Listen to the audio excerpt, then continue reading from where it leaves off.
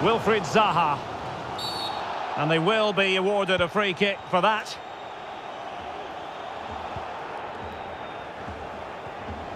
Nicely timed tackle. Well, they might be able to launch a counter-attack. Well, they have to pay attention. Real chance.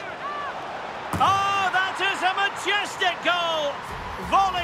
with precision and style. Superbly done.